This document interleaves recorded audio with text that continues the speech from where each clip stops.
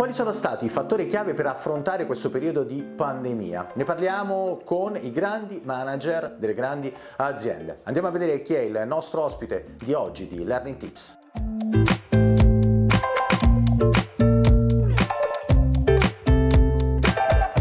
mi chiamo Francesco Venturini, uh, sono italo-americano, uh, americano perché sono nato negli Stati Uniti, però sono italo perché sono di Roma, eh, dove sono poi effettivamente cresciuto. Uh, laurea in economia, tanto studio post laurea per il puro piacere di capire se avesse senso o meno lo studio post laurea. Uh, poi magari approfondiamo se ho scoperto uh, se il, il, senso l'avesse o meno. Uh, moglie nata e cresciuta negli Stati Uniti, ma che ormai è DAIE come intercalare fisso, due figli, una teenager e un aspirante tale, quindi sono in quella, quella, quella, quella fase di vita complicatissima, in cui i figli stanno diventando uno donna e l'altro forse uomo, nel senso che c'è ancora un pochettino più di strada e comunque noi siamo sempre molto più lenti. E a casa si parla ovviamente inglese, ma fuori casa generalmente mm, romanaccio, quindi ho due figli con, che parlano romanaccio con l'accento, con l'accento americano. Mi piace la barca, mi piace il mare, adoro sciare perché mi permette di stare f- fuori e fare sport con i ragazzi che altrimenti uh, riesco a vedere e frequentare poco e uh, essendo quasi teenager sempre di meno e, uh, e, questa è un po', un po', la mia vita. Possiamo dire una vita quindi tra l'inglese e il DAIE, non è male. Peraltro, ecco come ci ha raccontato, nata a New York ma con studi a Roma, un po' al contrario rispetto no, alla norma. Beh, sì, io sono nato a New York per, per caso, mio padre era lì per, per lavoro, eh, a quei tempi Alfa Romeo cercava per l'ennesima volta di invadere il mercato americano con, con le sue auto e mio papà era lì per, per l'Alfa Romeo, uh, siamo stati un paio d'anni, io sono nato, cresciuto per un anno e poi mi sono trasferito sempre eh, con il mondo alfa eh, in giro per l'Europa, fin tanto che poi non siamo tornati a Roma stabile. Certo, anche su questo spesso si è detto che gli alfisti erano un gruppo a parte, no? anche gli appassionati dell'Alfa Romeo. Una vita interessante quella di Venturini, eh, ovviamente vorrei anche parlare molto dei suoi figli teenager perché la questione generazionale eh, ci interessa e poi è una questione che riguarda, io penso, anche la formazione all'interno delle aziende, uno se la porta dentro. Allora andiamo con ordine, però ripartiamo da Enelix, voi siete al centro del cambiamento cambiamento di paradigma che riguarda tutti noi, se stiamo negli Stati Uniti da Joe Biden fino ai singoli eh, cittadini, parliamo ovviamente di transizione ambientale, di digitalizzazione, di sostenibilità, insomma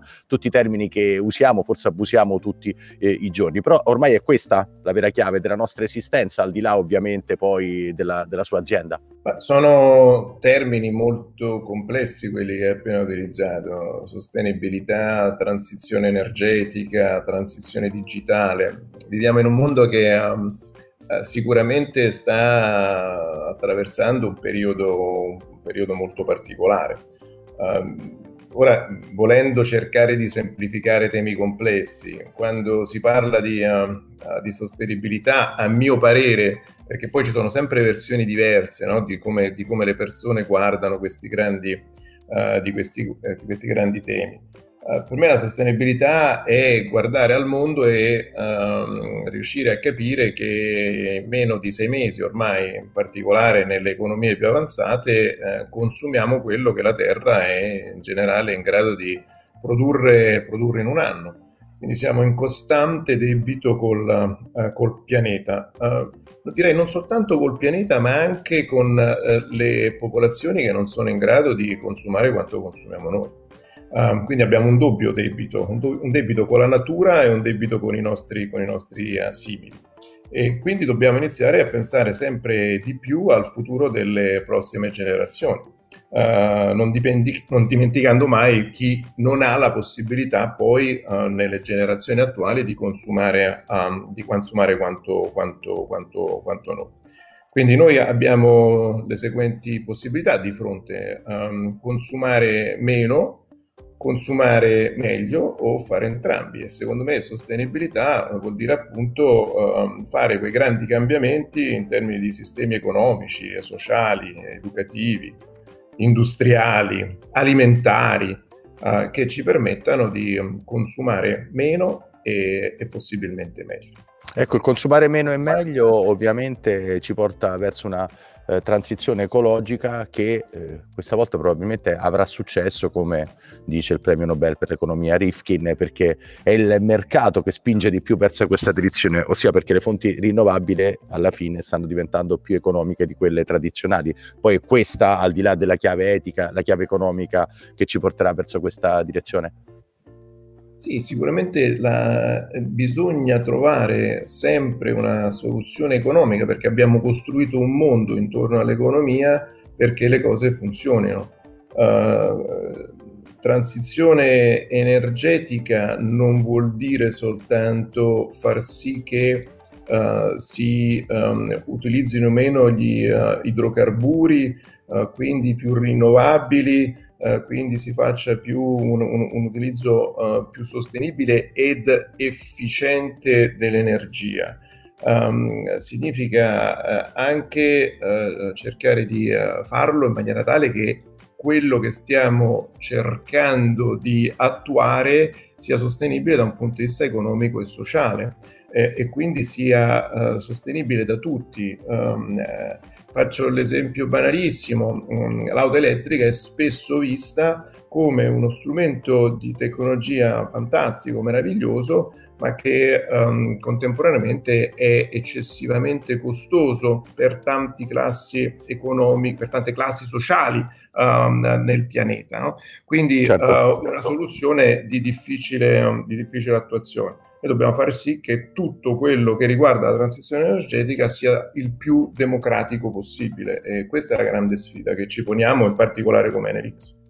Allora, nei nostri learning tips con Challenge Network siamo molto impegnati nel capire come cambia l'organizzazione del lavoro all'interno di grandi entità come la NLX, come cambia la formazione, come è cambiato ovviamente sotto la pandemia e su questo anche si sono già scritti dei trattati. Eh, però l'esperienza di Venturini qual è stata? Come è cambiata la sua organizzazione del lavoro, l'organizzazione del lavoro del suo team, al di là ovviamente dell'utilizzo maggiore dello uh, smart working? Ma, ehm Oggi tutte domande difficilissime. allora, il, perché sono temi molto, molto ampi e molto complessi. Certo. Allora, uh, l'organizzazione del lavoro, uh, intanto per cominciare, diciamo che cosa conosciamo. Conosciamo bene il passato perché eravamo tutti in ufficio. Conosciamo purtroppo bene il presente perché siamo stati per tanto tempo tutti a casa. È molto difficile prevedere il futuro quando uh, io faccio la domanda um, a terzi, perché poi non soltanto alle persone che lavorano con me, alle persone che lavorano in Enel, ma anche fuori, faccio la domanda, ma voi come vedete il futuro del lavoro? La risposta sempre fissa è vedo un modello ibrido, no? quindi un po' a casa, un po' in ufficio.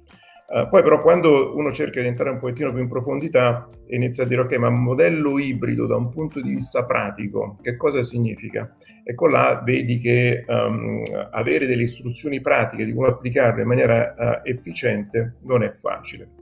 Io uh, se guardo al mondo di oggi vedo una serie di dati interessanti. Allora, uh, in prima di tutto ci sta grande differenza tra le varie industrie su come vedono il mondo del futuro uh, c'è stato, tutte le banche, grandi banche americane hanno detto uh, da domani, uh, ora che la pandemia negli Stati Uniti è formalmente terminata, si torna tutti in ufficio. Uh, scelta radicalmente differente rispetto a quel modello ibrido che indicavo, indicavo prima. Se poi guardiamo però all'interno anche di uh, industrie tipo l'industria digitale che avrebbe nella grandi possibilità di fare lavorare le persone a casa, ci sono situazioni molto diverse. Si va da una Spotify, um, colosso della musica online digitale, tutti a casa, e si va a Google che ha ripensato il modello e ha detto sempre di più in ufficio, anzi se state a casa mi dovete giustificare uh, la vostra presenza a casa. Quindi non è una scelta, non sarà uno, una, una, scelta facile.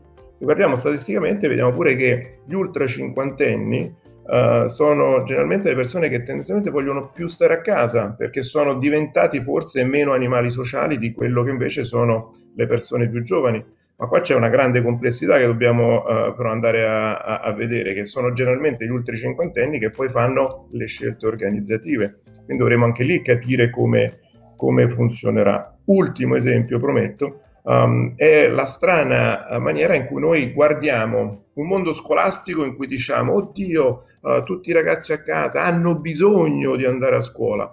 E poi guardiamo l'ufficio e diciamo no, no, all'ufficio modello ibrido, anzi se è possibile state di più a casa. Quindi quello che, uh, su cui andiamo a dire um, che la scuola è importante, quindi l'innovazione, la, la, la, la creazione di socialità, eccetera, è importante lì, uh, al lavoro lo diventa un po' meno. Quindi andando a costruire, andando poi a vedere su, su queste basi quello che sarà il futuro, uh, non è facile. Sicuramente non sarà come il passato, specialmente saremo in grado di imparare un po' di lezioni da questi ultimi 18 mesi. L'altra domanda delle domande, tanto semplice quanto complicata, è ma in NLX la produttività all'epoca dello smart working è aumentata, è rimasta la stessa, è diminuita? È aumentata tantissimo, ma per eh, un semplice motivo, che um, noi siamo un'azienda molto giovane e uh, questi giovani si sono trovati um, in gran parte a essere soli a casa. Non tutti sono uh, sposati, accoppiati, non tutti vivono con il compagno o la compagna e uh, per mesi sono stati costretti a stare a casa e quindi si sono aggrappati al lavoro per, uh, per non perdere il senso della realtà e, e, quindi il livello di efficienza è aumentato in maniera esponenziale. Anche questo secondo me inciderà tantissimo nel cambiamento che vedremo nei prossimi mesi perché uh, quel livello di produttività a cui noi ci siamo ormai abituati era anche spinto dal fatto che appunto a casa uh, finivamo, finivamo, non avendo altro come alternativa uh, o, o, c'era Netflix o c'era il lavoro, quindi dopo un po' magari Netflix scocciava e si finiva con lavorare un pochettino di più. Um, domani io mi auguro che non sia così e quindi dobbiamo rimettere tutto a posto, tutte le nostre agende affinché um, non si perda troppo in efficienza ma contemporaneamente si riesca di nuovo a vivere e vivere in maniera sociale uh, così come era abituati prima. A proposito dei ragazzi che lavorano in NLX, cosa cercate anche dalle nuove generazioni nei dipendenti di Enel? Quali caratteristiche, anche umane? Ma noi cerchiamo persone che abbiano, lo dico, visto che siamo nel mondo delle grandi domande, delle grandi anche affermazioni, cerchiamo gente che abbia voglia di cambiare veramente il mondo la, la, la, la, capacità, qua si lavora tantissimo, um, si lavorava tantissimo anche prima della pandemia, giusto per essere chiari. E, um, abbiamo però un, un gran desiderio di, di, fare, di, fare, tante cose e noi cerchiamo persone che abbiano, che siano, um, a, abbiano questa propensione al cambiamento, siano flessibili da un punto di vista culturale Uh, perché poi noi sposiamo due mondi molto diversi, un mondo molto classico è quello di una grande azienda elettrica con un mondo molto nuovo che è quello del, del, di NLX, del mondo del digitale, della, della certo. transizione. Um, quindi abbiamo bisogno di comunque avere quel grado di utilità che ci permette di convivere con uh, il DNA di questa grande azienda, che è un DNA che si è costruito negli ultimi cent'anni. No? Uh, quindi il, uh, le persone devono essere flessibili, pronte al, al, sacrificio, questo è poco ma sicuro, possibilmente con una gran voglia di lavorare, ma più che altro una capacità culturale di uh, adattarsi a un mondo che sta cambiando rapidamente e quindi si fanno errori, Uh, dagli errori si impara e poi però bisogna essere sicuri che una volta imparato si mette giù una soluzione uh, di correzione in tempi rapidi e si corre, corre, corre per riuscire a soddisfare quello che poi è il vero segreto di tutte le aziende, cioè le necessità dei clienti. Venturini, l'ultima delle grandi domande epocali. Eh, torno al PNRR, al Piano Nazionale di Ripresa e Resilienza, 269 pagine, 220 e passa miliardi, la quota maggiore proprio dedicata alla transizione ecologica, 59 miliardi, 23 proprio all'energia rinnovabile. Io immagino che avrà letto il documento. Qualcuno dice soltanto un libro dei grandi sogni, messa a terra invece da NLX. Eh, che giudizio ha sul piano? Ora, uh, l'occasione è gigantesca, bisogna evitare di, um, di sprecarla, dobbiamo fare cose utili, uh, dobbiamo fare cose fattibili nel breve termine, quindi evitare grandi progetti a uh, 20 anni. Uh, noi abbiamo imparato una cosa nel nostro mondo, il mondo dell'energia, uh, che che ci hanno insegnato le rinnovabili, progetti che, di generazione in particolare, che abbiano un time to market superiore ai tre anni, sono progetti che per definizione nel mondo di oggi devono essere scartati. perché non hanno un senso pratico né economico. Ecco, noi dovremmo guardare a questi fondi in esattamente la stessa maniera, fare investimenti infrastrutturali e non solo sulle nuove generazioni che però abbiano un time to market nei prossimi tre anni perché devono contemporaneamente soddisfare le esigenze di lavoro di oggi e la sostenibilità uh, del mondo che vogliamo per le generazioni future. Questo perché dopo tre anni già diventano vecchi i piani, il mondo corre troppo no, veloce o per cosa? No, perché eh, ora è necessario fare questi investimenti um, e, e, e quindi abbiamo una necessità impellente però dobbiamo pensare a fare investimenti che abbiano una, una durata nel tempo. Tra, traduco nel mondo dell'energia, sì. uh, andare a investire su tecnologie che sappiamo che non sono sostenibili e che non saranno neanche durature. Oggi non ha senso.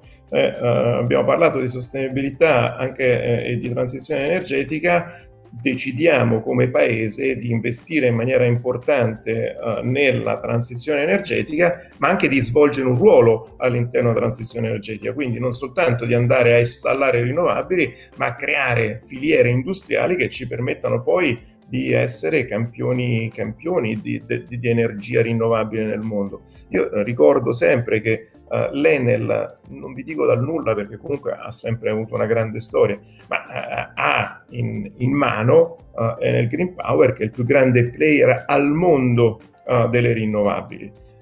quindi si può fare, l'Italia ha fatto, ha dei grandi campioni nazionali sia di natura pubblica che di natura privata Ora quello che deve fare è fare delle scelte di breve termine in termini di investimento, ma pensando eh, al futuro, perché questi soldi, ripeto, non sono soldi che pagheremo noi, ma pagheranno i nostri figli e i figli dei nostri figli.